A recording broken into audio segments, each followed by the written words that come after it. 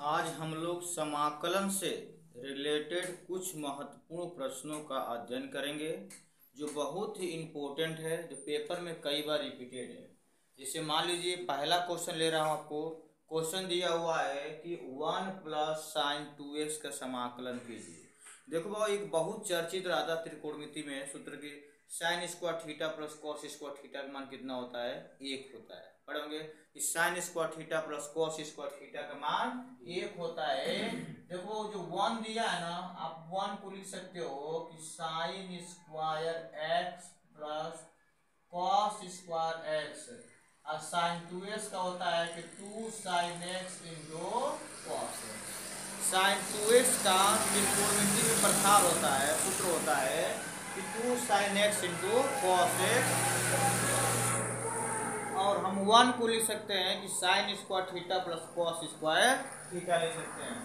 तो अब ध्यान देना है कि यह सूत्र बन गया a square plus b square plus two a b यानी ए प्लस बी के होल स्क्वायर को हो गया।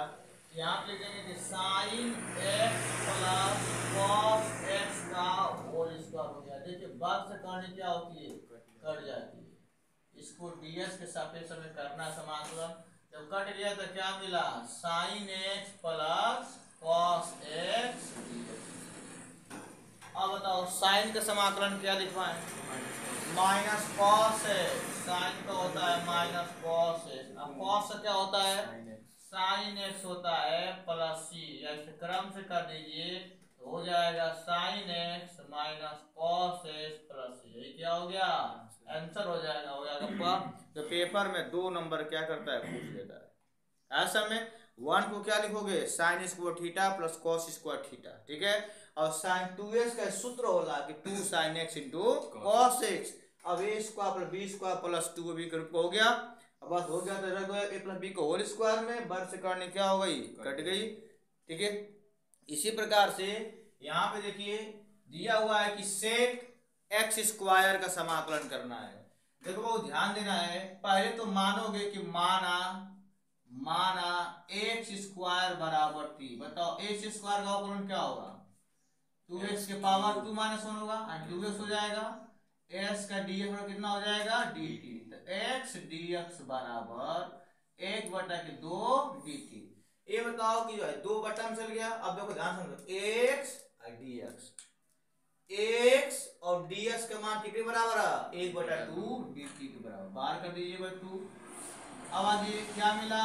सेक टी डी टी मिला। ऐसा में देखो ध्यान समझो जहाँ लिखा लिखा ये जो मानते हो उसका हमेशा अवकलन किया जाता है। जो मानेंगे उसका क्या करेंगे आप? अवकलन करेंगे। तो हो जाएगा एक्स स्क्वायर अवकलन हो जाएगा टू एक्स ये बटन चल जाएगा तो क्या होगा? एक्स डी एक्स बराबर one by two d t ऐसा में अब देखो सेक एक्स का समाकलन बताया गया है सूत्र होता है कि log sec x plus tan x तो लॉग यहाँ पे हो जाएगा sec x plus tan x यहाँ पे जब टी है तो क्या करो यहाँ पे? टी कर दो यहाँ पे क्या करवा?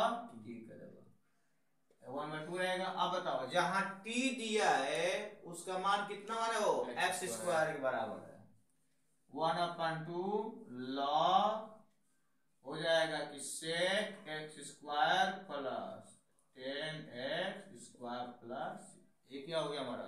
समाकलन देखो बाबू, ध्यान देना है कि जब दो को फलन देखा पहला फलन, दूसरा फलन, दो फलन अगर आ जाएगा तो दो फलनों का और जो कि गुणनफल का समाकलन क्या होता है? तो सूत्र होता है यहाँ पे कि प्रथम फलन गुण द्वितीय फलन का अवकलन, इसको पहला दूसरा मान सकते हैं।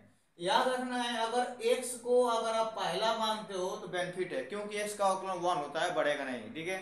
इसको हम पहला मान लेंगे, इसको क्या मानेंगे? दूसरा। अब ध्यान सुनना है कि सूत्र क्या होता है।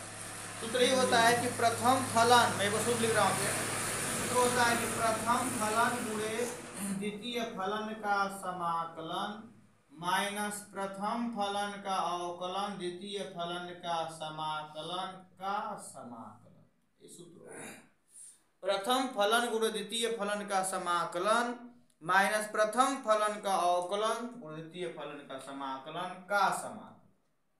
पहला फलन क्या मान लिया हुआ एक्स बताओ साइन का समाकलन क्या होला? माइनस याद कर दो वन या देखा डी बाई डी एक्स का अवकलन होला वन। कितना होला अवकलन? वन।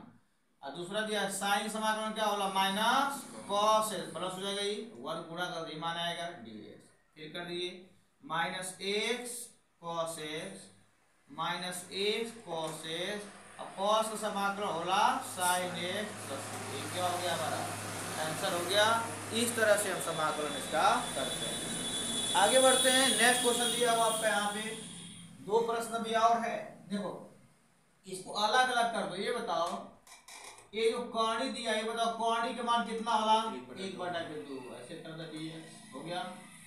यहाँ पे कौड़ी बाई दो होला लेकिन ऊपर ले जाइए बता माइनस हो जाए तो माइनस एक बाई टू डी भाई। कौड़ी के मान कितना होला? One by two. एक जब हर से अंश में ले जाइए बता क्या माइनस अब ये चीज़ बताइए हमें कि सूत्र बताइए हमें कि x टू पावर n का समाकलन क्या होगा? X to power n plus 1 upon n plus 1 बता आपका। इसी सूत्र पर रखना है जहाँ n है वहाँ का रखवा एक बटा के दो। रख दीजिए यहाँ पे। रख दे बात s के पावर एक बटा के दो प्लस वन एक बटा के दो प्लस वन दिया शून्य। प्लस यहाँ भी x के power minus one by two plus one minus one by two plus अब देखो, दो एक कमा दो एक तीन कितना होगा? X के पावर थ्री बाई टू दो एक कमा दो यहाँ कितना होगा? थ्री बाई टू प्लस देखो, दो एक कमा दो घट जाएगा तो एक बटा के दो यहाँ कितना होगा? एक बटा के दो.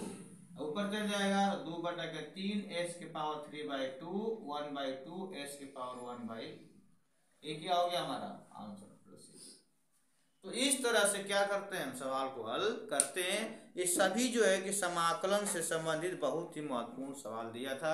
एक क्वेश्चन और था जो यहाँ लगा दे रहा हूँ। देखो दिया था समाकलन की कॉस स्क्वायर एक्स डीएस का समाकलन। वेरी इंपॉर्टेंट है। कॉस स्क्वायर एक्स इतना इंपॉर्टेंट है। आप इसको बता दें कॉस स्क्वायर एक्स का सूत्र भी नहीं होता है। आप जाओगे त्रिकोणमिति के पास और त्रिकोणमिति में सूत्र होता है कि कॉस टू एक्स बराबर one minus sorry two cos square x minus one cos two theta या टू एक्स का त्रिकोणमिति से प्रसार है। आपको इधर लाओ यहाँ पे तो हो जाएगा cos 2x प्लस वन बराबर टू कॉस स्क्वायर एक्स ध्यान दीजिए को इसके बाद cos स्क्वायर एक्स बराबर हो जाएगा कि cos 2x plus one by कितना हो जाएगा? टू हो जाएगा। ये मान उठाइए और यहाँ पर रखिए। समाकलन करने के लिए वन बाय टू बाहर कर दीजिए तो हो जाएगा cos टू का देखो, ध्यान देना है कि cos टू एक्स का होता है minus sine two plus sine two x होता है साइन टू एक्स होता है, और टू एक्स के बट्टा में टू वन का समाकलन एक्स हो जाएगा एक क्या हो गया आपका? आंसर होगा। इस तरह से क्या करते हैं हम? समाकलन के प्रश्नों को हल करते हैं। नोट डाउन कर लीजिए।